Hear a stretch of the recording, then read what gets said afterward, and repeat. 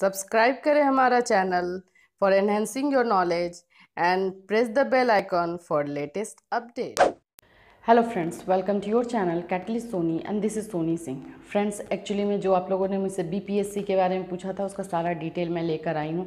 Form किस तरह से फिल करना है, अगर आप लोग चाहें तो मैं वो भी कर दूँगी। पहले आप मुझे कमेंट बॉक्स में बताइएगा कि फॉर्म फिल करने का क्या स्टेप्स भी आपको जानना है। फ़िलहाल हम लोग जानते हैं कि बीपीएससी का जो रजिस्ट्रेशन डेट है और जो फॉर्म फिलअप डेट है, वो आगे बढ़ गया है। तो क्या रजिस्ट्रेशन डेट अब जो हो गया है, सत्ताईस तारीख तक आप रजिस्ट्रेशन कर सकते हैं, सत्ताईस अगस्त तक। शुल्क भुगतान का जो डेट है वो 31 हो गया है 31 अगस्त। अप्लाई का जो डेट है वो सात सितंबर हो गया है, सेवन सितंबर तक आप कर सकते हैं। ये डेट जैसे कि आप लोग जानते भी होंगे। और बाकी जो क्वेश्चंस आप लोग मुझसे कर रहे हैं कि हम लोग कौन सा सब्जेक्ट सेलेक्ट करें और कैसे करें, उस उस तरह का जो क्वेश्चंस है। तो फ्रेंड्स सबसे पहले तो आप लोग ये देख लीजिए कि नंबर ऑफ़ वैकेंसीज़ किस तरह से है, वो भी आपकी स्क्रीन पर है। आप देख सकते हैं कि हर एक पोस्ट में किस किस तरह से कहाँ कहाँ पे वैकेंसीज़ है। मिनिमम एज क्या है, मैक्सिमम एज क्या है, ये आपके स्क्रीन पर है। आप सारे पहले चीज़ों को अच्छी तरीके से देख लीजिए। अब उसके बाद आप आइए हम लोग बात करते हैं कि आप लोग को सब्जेक्ट क्या सिलेक्ट करना चाहिए। जैसे कि जानते हैं, ये पीटी है और पीटी में ही मेंस के लिए भी आप लोग को अपना सब्जेक्ट, ऑप्शनल सब्जेक्ट देना पड़ेगा।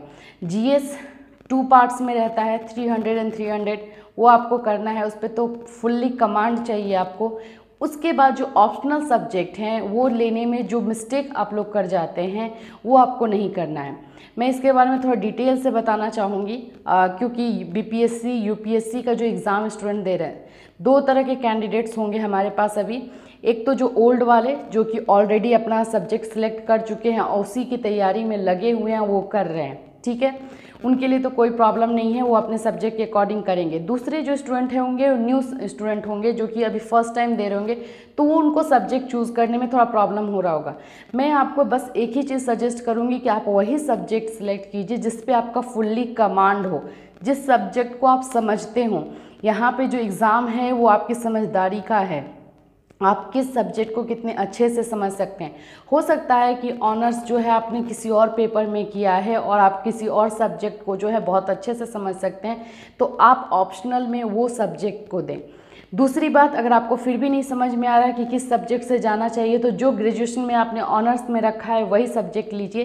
क्योंकि उस पर कुछ नहीं भी जानते हुए भी आप थोड़ा बहुत तो जानते ही होंगे। तो बोला जाता है ना कि कुछ नहीं होने से अच्छा थोड़ा सा होना है।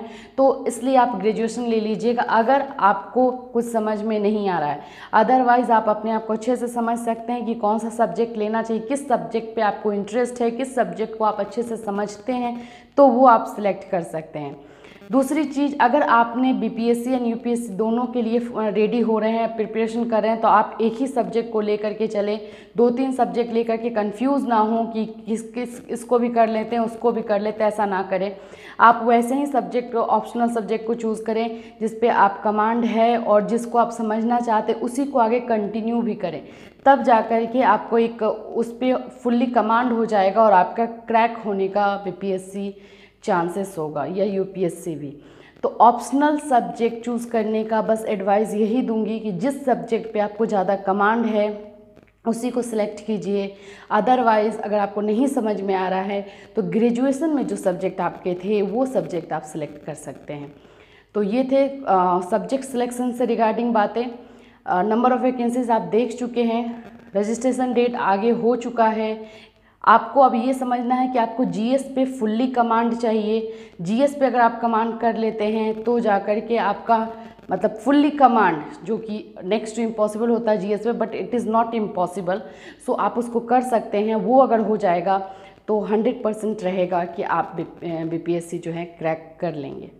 तो फ्रेंड्स ये बीपीएससी के रिगार्डिंग है। इसके बाद आप लोग कमेंट में मुझे बताइए कि और आप क्या जानना चाहते हैं। तो उसके रिगार्डिंग में और भी क्वेश्चंस और भी कुछ इसके डीपली लेकर के आप लोग के लिए आऊँगी। अगर आपको नहीं समझ में आया तो हिस्ट्री हो जोग्राफ़ी हो सिविक्स हो कॉमर्स हो, कोई भी सब्जेक्ट के बारे में आप बताइए। उसके बारे में हम लोग डिटेल में क्लासेस भी करेंगे।